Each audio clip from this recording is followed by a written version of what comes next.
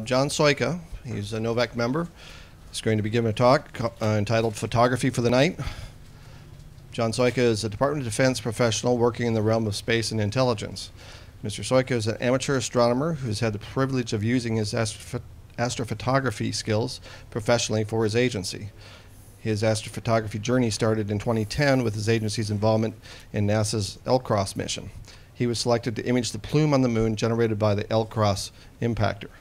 He only got one shot. uh, he was selected to image the plume on the moon. Okay. Uh, subsequently, he received the honor of assisting the Smithsonian National Air and Space Museum with a successful deep space imaging program for the public and has been a featured speaker at the Almost Heaven Star Parties. Mr. Sojka's passion for astronomy started when it's, with his father when he was a boy. His father was instrumental in building several observatories and reflector telescopes. Mr. Sojka still uses his father's homemade 10 inch reflector telescope to this day. This session is an introductory uh, introduction into the fascinating world of nighttime photography. It will include the basic camera settings and required techniques for imaging targets during the night with camera equipment you already own. The session will cover camera sensor basics so attendees can understand the camera settings and learn how and why to adjust them. By the end of the session, attendees will be able to image objects at night without a flash, please. Uh, uh, light painting, the moon, star trails, the Milky Way, and even a deep space object. I've been to many uh, star parties, you know, sup- supposedly uh, skilled uh, astrophotographers or whatever, and a flash goes off. Awesome. Uh, so, yes, please don't do that. So, uh, without further ado, John Swiken. Thank you. Thank you, Erlen. Thank you. It's, it's an honor to be here. So, who is an astrophotographer here? Is there somebody who he's even tried it? So, folks, this is the truth. This is what my friends think I do. You know, working on equations. This is what my mom thinks I do. This is what some people think I do from society. But this is what it's really like to do astrophotography. You're standing in the field until late at night, and when you're on top of a mountain, it's usually 10 degrees cooler than it is here, and it gets cold, especially. And some of the best things come out in uh, the wintertime. So, fortunately, you uh, this is what you do most of the time. So, don't think it's fancy. So, um, thi- I, I decided to create this brief uh, like you have a math textbook in grade school where you open the first page and it's really easy, and then you go to the end of the book and it looks like really hard. And so, this is going to start off really simple and then it's going to get mo- more complex. And the reason I'm doing that so that uh, you can all understand how things are going from the beginning to the end and how, how you get a picture. So I am going to read this to this one. Uh, a photograph is a photo, uh, excuse me, is an image created by light or photons falling on a light sensitive surface, usually photography film or an electronic medium such as a CCD or a CMOS chip. And I got that uh, from Wikipedia. But the key word here is light and photons. And by the time you leave here, I want you to just think in photons. Every time you look at something, you think in photons. It's, this is going to go someplace. So if you have a camera, you may want to take a picture of this now, but these are the three most things, um, important things when you're taking uh, imaging at nighttime. You care about the uh, shutter speed, that's the length of time uh, that you expose the sensor to the incoming photons. Uh, the ISO is the sensitivity of that sensor. And I'm actually going to give a, uh, a detailed synopsis of how ISO works so that you understand it and you know how to adjust your camera settings. You probably went through your camera and you don't really totally un- understand ISO. Now, some of you might, but some of the beginners may not. So if you don't fully understand ISO, the shutter speed, and your aperture, this is going to clear all that up for you. And then, of course, the aperture is the amount of light allowed uh, to a lens, uh, excuse me, through a lens to the sensor controlled by a diaphragm. When you're doing nighttime astrophotography, you want to open it fully, uh, which is your lowest f-stop on your camera. So if you decide, I want to go out and do astrophotography tonight, the first thing you do is you set that f-stop to its lowest value so you can capture light quickly. So when you're thinking in photons, what is light? And I, I can get really fancy here. You know, it's uh, electromagnetic, uh, uh, electromagnetic radiation from a certain portion of the spectrum. Uh, it usually refers to visible light uh, uh, that's visible to the human eye. Uh, and uh, it operates at wavelengths for us to see between 400 and 700 nanometers. Uh, that's a, a billionth of a meter. But what is light? So this is a question that I have for the crowd, and I, I want to ask the kids this question. What is light? Is it a ray of light? Is it a frequency? Is it a wave? Is it a tiny particle? Who thinks they, they know the answer? Come on, somebody jump in.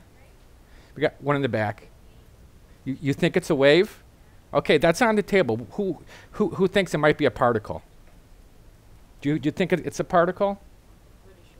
Think it's just a particle? Okay. So here's the answer. It's all of them. Light travels in little packets called photons. It's also a wave, so, so you weren't incorrect. Uh, and it contains, so a photon contains the properties of all these things you see here, okay?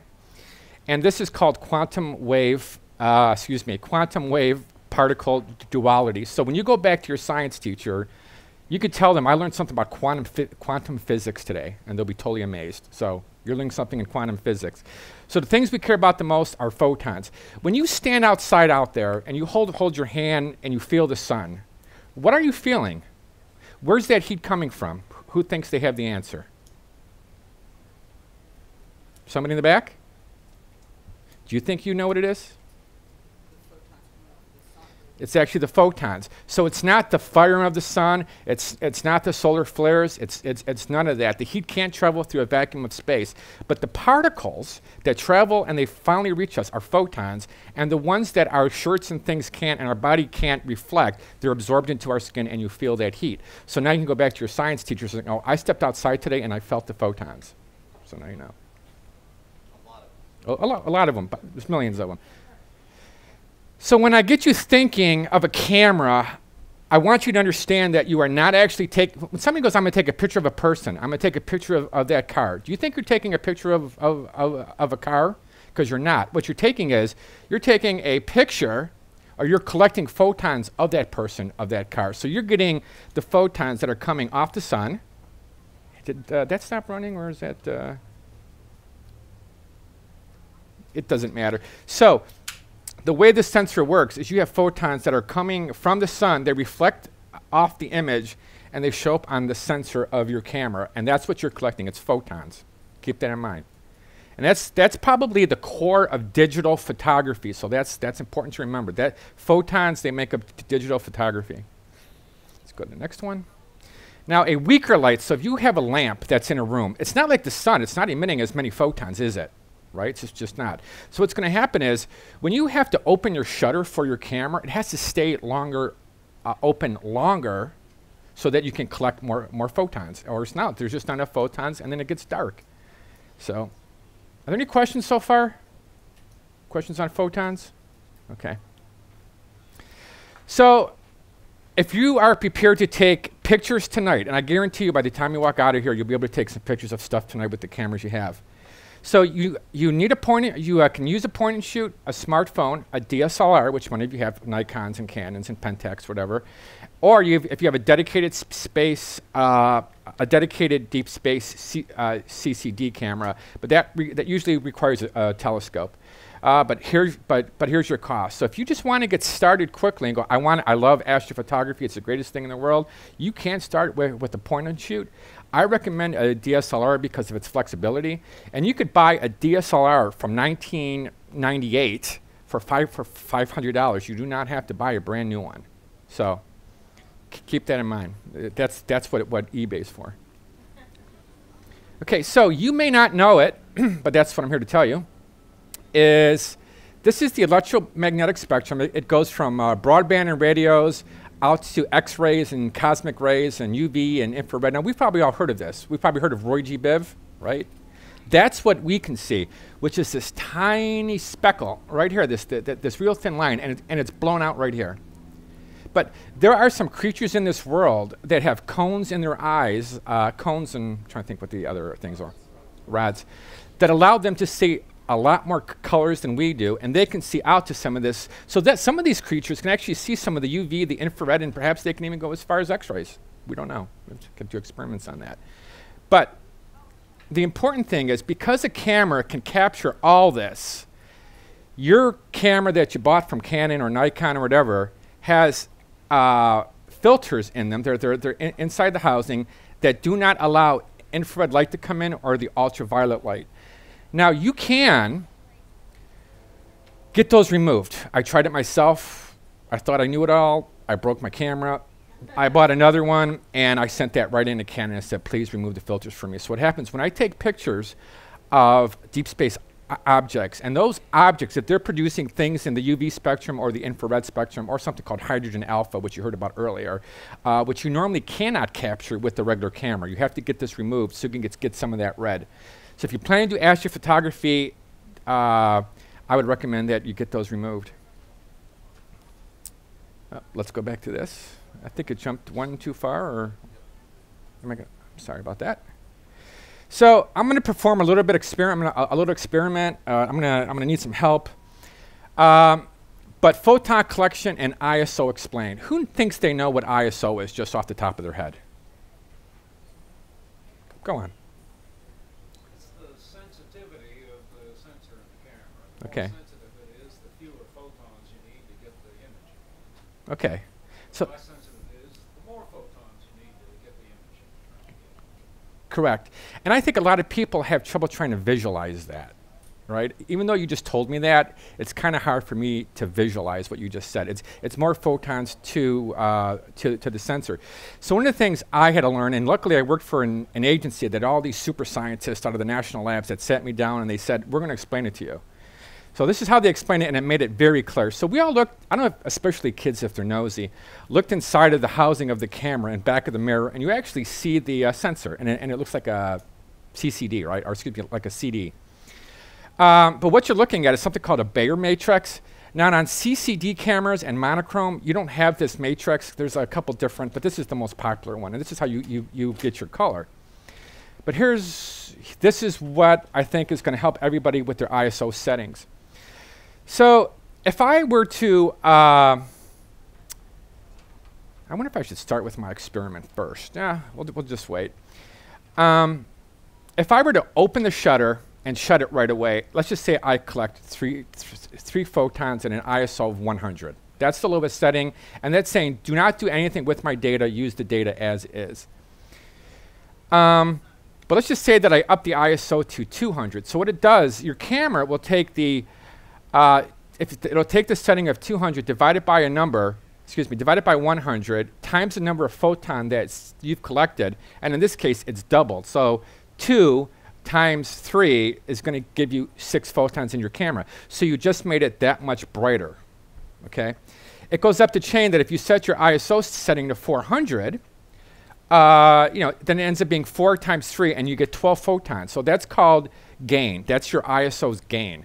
So you can just take a quick picture and get a little bit of light, but if you have the ISO really, really high, you'll get a nice bright picture, but you don't always want to do that. Uh, a couple of the reasons I'll go into later, but quickly, uh, if you set the ISO too high, you lose your dynamic range, which means you lose a lot of color. So if you take a picture of something at a high ISO, and it's got like pink and reds and oranges, but your ISO is really high, you'll just kind of see pink. You won't see the, the detailed colors.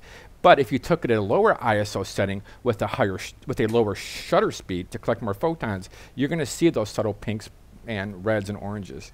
So that's that's one of the reasons you that you do that. Um, see, I go here. So you know what? I think it's just time to do an experiment. Uh, who who wants to help me with it? You want to help me? Hey, come on up. So, just if you stand over here, I'll, I'll start explaining something. So you can actually keep your ISO setting. Is is i- is this still good? Just so.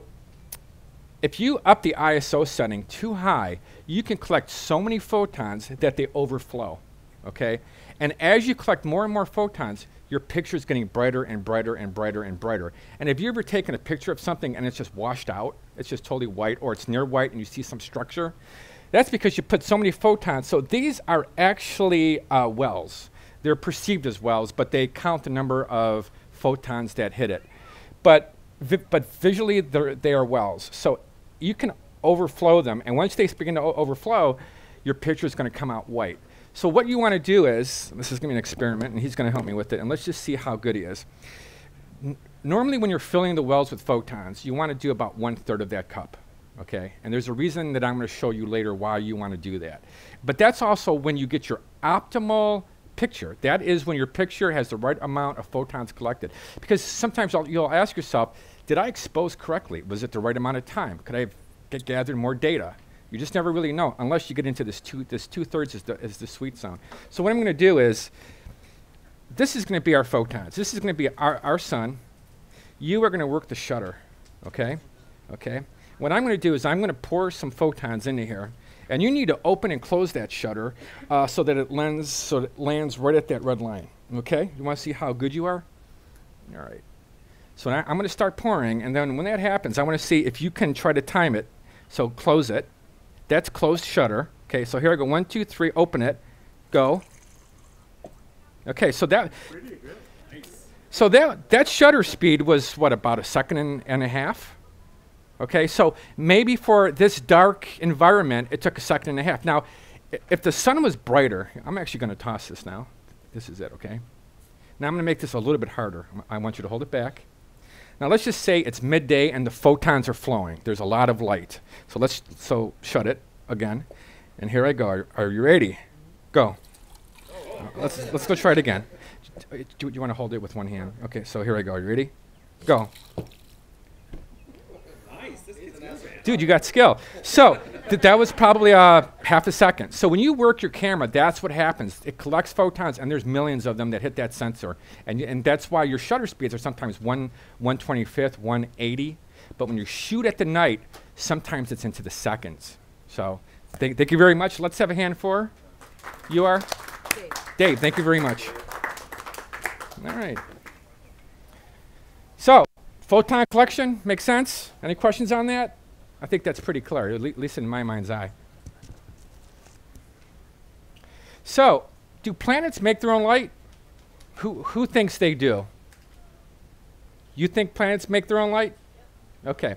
So, man, you, you've got guts for raising your hand. So, uh, planets need reflected light just like a person does. So they need the sun to reflect light. So, like the moon, so if we take a picture of Jupiter, do you know that the photons reflected off of Jupiter, I think it's four and a half minutes, something like that? Is it much longer? 12, something like that? The Earth is, is 8.3 minutes from the sun. You could do the math, but from the sun it's like six minutes? 8.3. So then you're thinking probably, I don't know, tw- 12 minutes, something like that. So the way we image the moon and the planets is not direct light. We're looking at reflected light, okay? And when I was growing up as a kid, I used to think they, they made their own light, but they don't. So, space objects that emit their own photons. The sun and stars, we already know that, okay? You, you have galaxies and you have nebulae, which is uh, multiple nebula. But when you think about it and you look at a galaxy, what's a galaxy made of? Stars. So once again, stars are like your light source for everything. When a nebula is emitting light, why is that? Go on.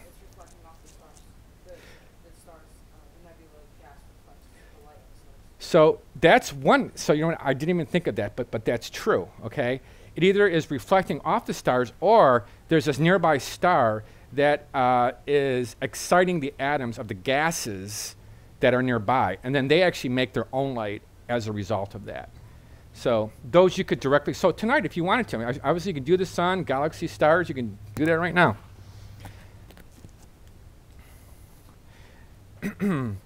so if you want to get started tonight, and like I want to go out there, Mr. Sojka has impressed me so much, I'm just going to go out there and do it. Um, your basic or your, your basic camera system that's using uh, a lens is any DSLR, any point and shoot camera, okay? Any smartphone with adjustable ISO and shutter speed. So this is what I do know, is that there are some apps on your phone that you can you can download that turns your smartphone into more like a DSLR. You can adjust, you know, shutter speeds and things like that.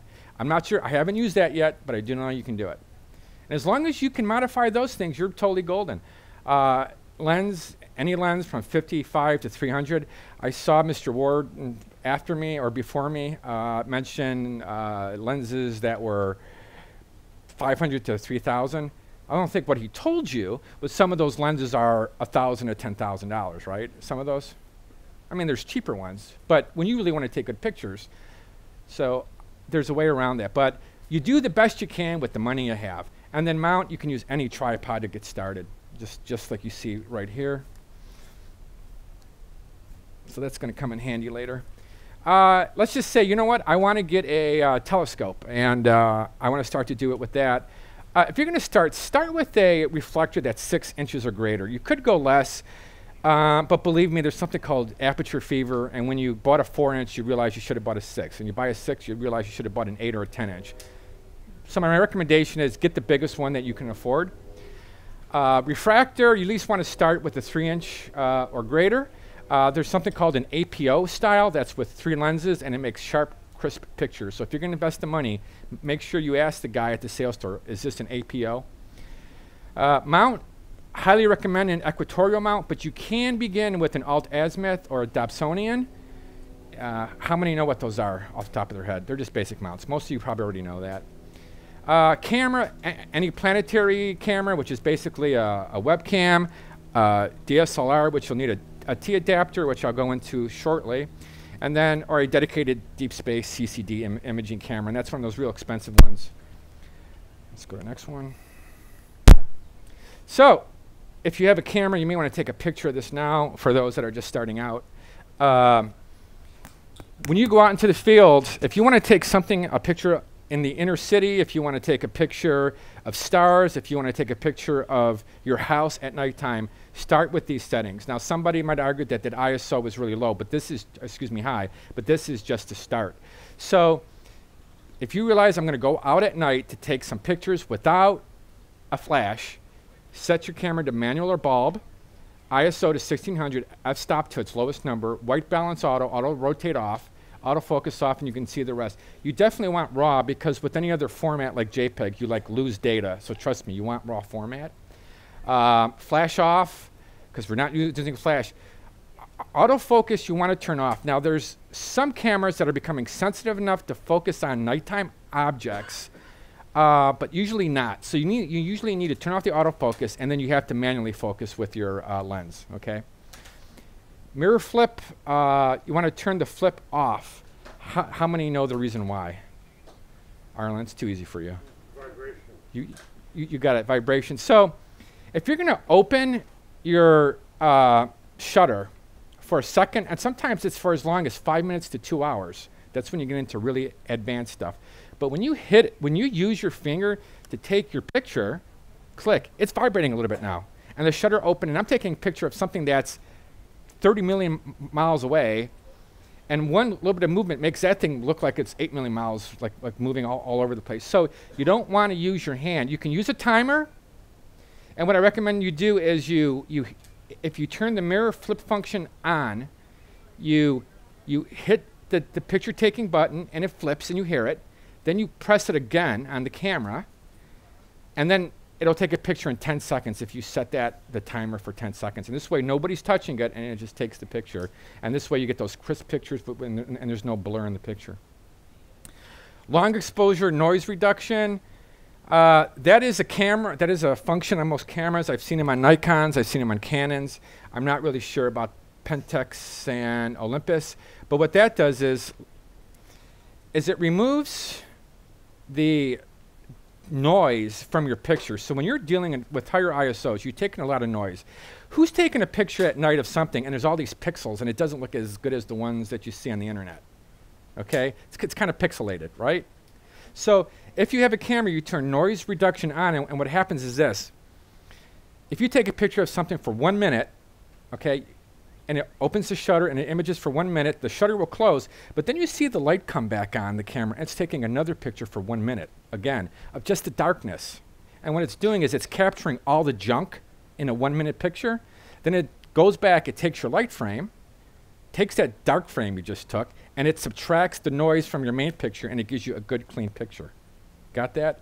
So if you get a chance, turn that on. There's reasons in astrophotography you don't want to turn it on if you're taking pictures for five, ten minutes or a couple hours. just because you don't want to wait. A, if it's a one-hour picture, you don't want to wait two hours for it to process. So there's ways to work through that, but that's advanced stuff.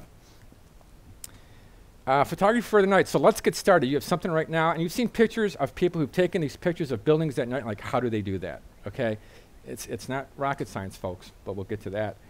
Uh, any digital camera, any tripod or mount, set your ISO to 1600. Set the exposure time or the shutter speed to about one second, and that's what I did for this target.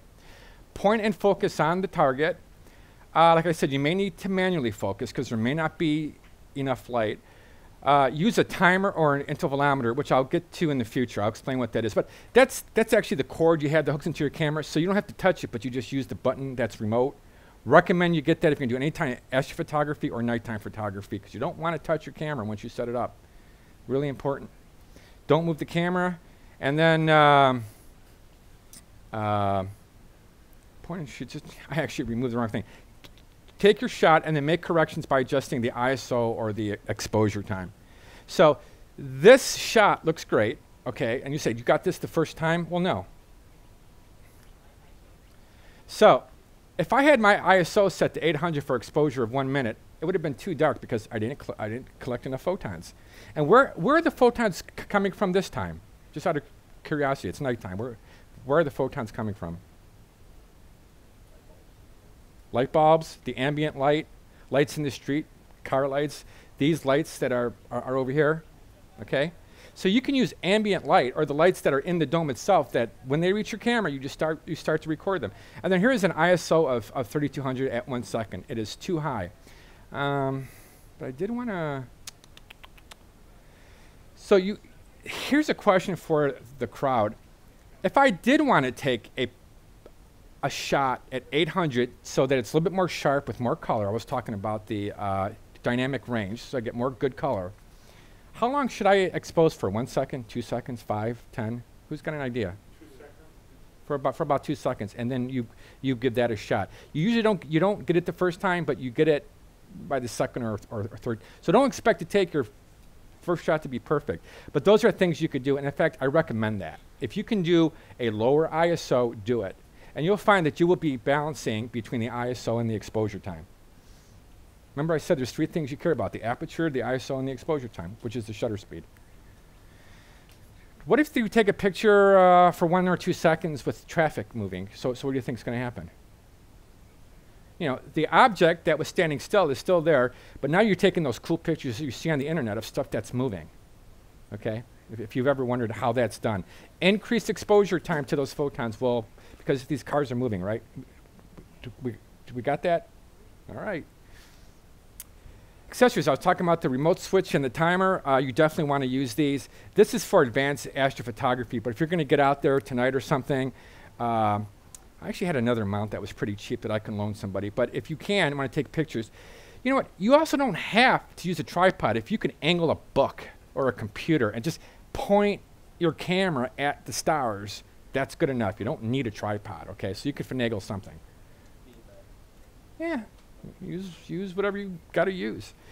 Um, conditions. So this is ideal. This is definitely what we want. Clear, cool, dark, dry, stable atmosphere. Well, currently we're not experiencing all this. It's actually, it's a little bit uh, overcast, not too bad. Definitely not cool. Uh, uh, it's not dark yet, but pretty soon it will be. It's not dry, it's a little humid, and the atmosphere, we don't, we don't really know yet if it's really stable, but we will see. But when you do, these are things you definitely do not want. You definitely do not want it to be overcast. And why is that? Do you want my prize student? Yeah, so photons aren't going to get through to your camera. If you can't visually see Jupiter or a star, there's no photons that are coming to your camera. So if your eyes can't see it or you can't see it with a pair of binoculars, you're not going to get inside your telescope or camera. Uh, wind, uh, definitely do not, you do not want wind when you're doing long exposure astrophotography. Even a second or two is a lot because if it's really windy, it's going to be rocking your tripod. You don't want the moon unless you're shooting the moon uh, because the ambient light is reflecting, excuse me, it is reflecting sunlight back to you and that's ambient light. And as you're trying to take pictures of stars, that moonlight is hitting your sensor and it's washing out, you know, the Milky Way and stars in, in, uh, in a galaxy. So most imaging is done for deep space objects when there's no moon, which is what, what's called the new moon. So when there's a new moon, look on your calendar go, it's going to be dark tonight because there's no moon. That's when you want to go out. You don't want to be near cities because of sky glow. You probably can figure out that, excuse me, you can figure out by now uh, that the sky glow is going to reflect off the clouds and go back to your sensor. So that's why we come out here to the, um, to the uh, state parks, which are well away from the city, and it's just to get it as dark as it, as it can be. Heat, you can actually capture heat waves. I've had distortions in my equipment when it was just too hot. I used I used to run these, these heaters on my uh, telescope, and then all of a sudden they were very distorted because I, I got all these heat waves that were in front. I'll never make that mistake again. Humidity. Um, it's going to become clear in the next picture why humidity is your enemy. Uh, but one of the top reasons is dew conform on your equipment. And you get like, I mean, have you ever come outside really early in the morning and the grass has water on it or it's on your car on the windshield? Well, what, what do you think's happening to your telescope at 2 in the morning uh, as it gets coated with dew? And you have to be out there wi- wiping it. Or there's things called dew heaters, uh, but you have to pay attention to that. I think that's pretty clear. So, a couple, this is, so, if you can take a picture of a target, you want to take a, if, optimally, you want it right overhead. Now, if the moon's there, if a galaxy is there, if it's someplace here, it, it's great uh, because you're cutting through less air, air masses. If anything is below 30, so if you go like this and the object's below, you don't want to take that picture. The main reason, well, first, you can, you can, it's really clear. You're cutting through more air masses. So this object, that in this case it's Saturn, it's straight up, and you see you're only cutting through one atmosphere. So you're cutting through one atmosphere of humidity, rain droplets, cloud cover, you know, if, if it's thin, particulates, pollution, and all that kind of stuff. You're only cutting through one atmosphere, but here you're cutting like to like more than four atmospheres thick of junk, and that's why you want to try to get a picture of something straight up, or if you can.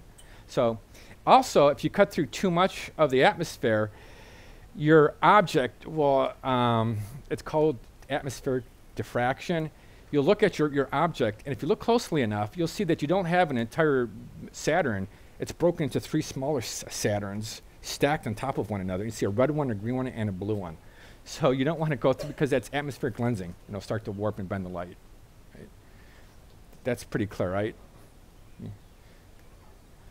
Uh, real quick with this. So, do you remember when he was trying to fill that cup one third of one third of the way?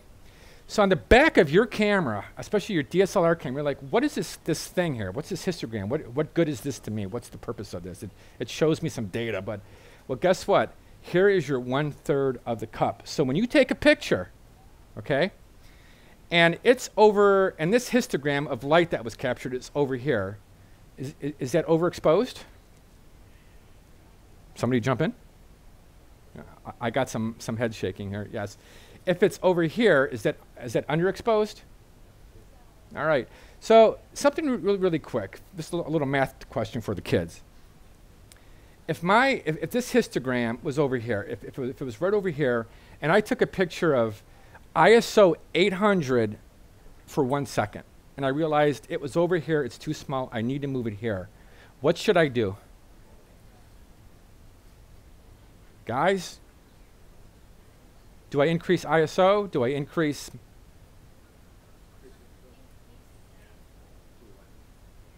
Hmm? So if you, if you increase the ISO up to sixteen hundred, it gets more, so what you wanna do is just increase your, your exposure. Correct. You want to increase so that you eventually begin to uh, shift this towards the right. And that's when you know you're taking a correct picture and how it's perfectly exposed. Real quickly, just want to jump in here. I mean, here, here's some pros and cons for the short exposures and the high ISO settings. But remember, I was talking about it being very pixelated, okay, versus nice and smooth. So if you can, try to shoot at the lower ISO, but bring in more photons if you can through a longer exposure. Uh, something that you could do tonight. So this place can show the Milky Way, and I'm hoping that tonight's one of those nights. But if you can, you can use you can use any mount like you see here. Use any camera. The the best lens is between um, uh, f-stops between 1.5 to f3 with uh, 15 to 30 uh, millimeter focal length. Set your ISO to 1600 to 3200. That's kind of high, but I just want I want you to get something. Uh, Mr. Ward has, was talking about the 500 rule. That's where you take the focal length of your telescope uh, and you, you, you, you divide that into 500, and that gives you the amount of time that you can image for without showing star trails or, or, or movement. Because if you were exposed for too long, just like you saw the, the, the uh, traffic lights uh, moving, you'll eventually start to see stars move, okay? So what you want to do is you want to follow this rule so that you get the correct time of, of, of exposure. And then recommend to use a, re- a remote switch to prevent the vibration. Point it at the Milky Way. Focus on infinity. Uh, me just pop this out. So some of you have probably wondered, what's this little figure eight on, on my camera? I have never used that before. Okay, when you deal with something really far away, like the Milky Way and stars and galaxies, you move it to, to, to, to infinity.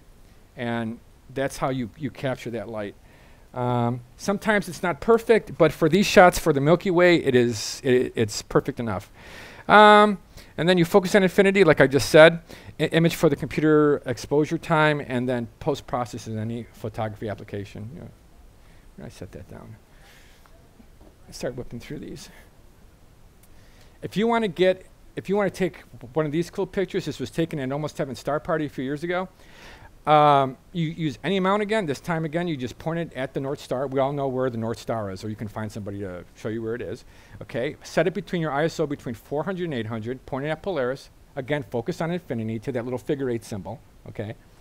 Uh, optional, eh, so so you don't have to touch it. Uh, you want to take pictures for um, five minutes. Excuse me, up to five minutes each for about two hours. So you're you're exposing. So you open the shutter and you have a timer for, for five minutes, and you just wow, the thing's imaging for five minutes. You know, and, you, and in that time you might capture planes going through, people walking by. Hopefully not. But when you start to, to do that, uh, those stars will, will start to move. Okay, then you, you then you, if you want to take breaks in between, you don't want to take more than five seconds because if you do, you're going to have gaps inside your, your uh, star trails. Uh, again, don't move the camera. And then there's something called Photoshop Star Trails and uh, Action. And there's a regular program called Star Trails that lets you combine all the pictures you took over the, you know, the two hours worth of individual pictures, and you combine them into one thing that looks like this. Any questions? You guys too hot? All right. Uh, really quick, let's just say uh, you have uh, reached a point where you uh, want to step up a little bit. Got this, got my camera. So, there's a couple ways that you can do this, but there's something called a, it's right here, a T-ring and a, and a T-adapter. So this is your T-ring, and they make these for Canon, they make them for Nikon. So this, again, this is your, your T-adapter, they make this for Nikon, Olympus, they, they're, they're brand specific. And then uh, you buy the uh, T-adapter, which will go into your telescope. So you just snap this on, so you pop off your lens, and then what, what you then do is you just uh, walk over to your telescope, you pop out the diagonal, just get this out of the way. And there's really no magic to this. You just get your DSLR camera. And so when people bring out their telephoto uh, lenses, you say, this one's mine, okay? and so when they're trying to focus like this, you're like, well, watch this, okay? So you won't be able to autofocus for sure. You're going to have to manually focus. And then there's something called the Bahtinov mask, which I'll show you in a few seconds. But then you just use this to focus, and you just look in the back, and you just you just you just focus that way. Okay. This is more advanced. I'm not going to get into this. This is sticking stuff that's in between and blow up pictures and things like that. But uh, we don't need to talk about that now. But tonight, maybe you can ask one of the astronomers to plug your your camera into their telescope and have them shoot you a picture. So the Bahtinov mask, I, I got it in, in, in a drawer, but you might be wondering, this is not a lens that shows me where infinity is. How do I take a picture of something like a galaxy that's at infinity? I don't know where infinity is. There, there's no marking on here. So what you do is, there's a mask that hangs on the front right here. Right here, you just put it on there, and it, and it looks like this. And as you work the focuser, I should probably show this again, as you go in and out, in and out, if you start going too far out, this line will start to move to the right, okay? If you go back the other way, it starts going this way, okay? But when you get a perfect X, you are, you are focused and infinity, you lock everything down, you take off your Bahtinov mask, very important, forget to take off that mask because many of astro imagers, uh, because there's giggles, because they know, they, they leave that sucker on there, they image something for hours, and then they get home and they go, why are, are all my stars X's? And they go, oh my God, I left my Bahtinov mask on. So remove it when you're done. Um, ripping through here. I promised, uh, let, us take a shot of the moon. Uh, DSLR camera is recommended. I think Mr. Ward was actually showing if you just have a point and shoot, it's kind of hard. They look, they look, they look- really tiny. This is when you start to want to use a telescope, just like you see there. Uh, if you do use a lens, you want something that's bigger, between 100 to 300, or bigger if you can afford it, uh, or a telescope in this case. You can impress your friends. A- any mount or tripod, set the ISO 1 to 200. W- why so low? Why is my ISO so low? Yeah, that, that moon is bright. And I guarantee you, if you up that to 3200, it'd be a, a white circle. And you're like, well, where's all the craters? So you want to tone it down. A good, so I went back to my pictures at home with a Canon camera and I looked up all of the metadata. And my average pictures were usually at 1 to 125th of a second shutter speed. So very important just to start, set your ISO to 200 when you look at the moon, you just look at where that line is and see if you need to shift it left or right. You remember in, in that histogram? And then you know that, that that's a good, uh, a good uh, um, uh, exposure time. Point at the moon, focus manually, optional again, in the intervalometer so you don't have to touch it. Take the shot and then adjust the ISO as needed. So this is getting towards the end of my brief, uh, but this might really excite you. How many people recognize the Orion constellation? Yeah? Most of you? Okay, good. And if you don't, you just ask one of the people here to show it to me. I don't think it's up yet. I mean, I, I, has it already set? Is it too late? It'll be down, I think, by the time Sunday. Okay, so there are other constellations. Speak to the astronomers here and say, show me a nebula, okay? But if you're sitting at home one day and you go, there's Orion, this guy at the astronomy day was telling me that I could take a picture of something great. So, This is a wintertime option. yeah, but you could start in fall to try to squeeze it in there, right? So fall through through early spring. Uh, but so so so here he is. That that's him, and here's his legs, and then right here, right about in the middle, there lo- looks like something like a star, or like like three stars. Go go to this one that's right in the middle. You know, so focus at infinity, like like I said here. You know, focus on infinity or the figure eight or your telescope. Uh, take a 37 a 30 second exposure at the 1600 ISO. Don't move the camera. Uh, and here's what you're going to get for your 30 sec, and you will capture something. So that's what it looks like. That was my first picture ever. That was, I was so proud I made my friends nuts, kept showing them this stupid picture.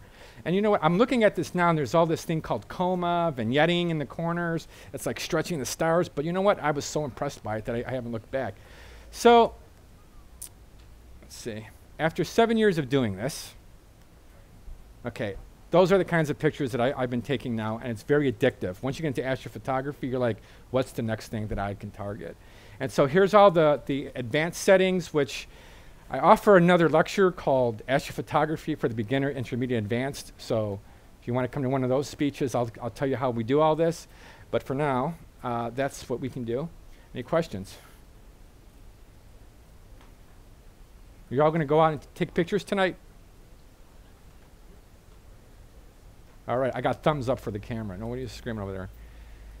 All right, if there's no questions, then we'll take a break, and I guess we'll get ready for the next speaker. Thank you very much. Thank you.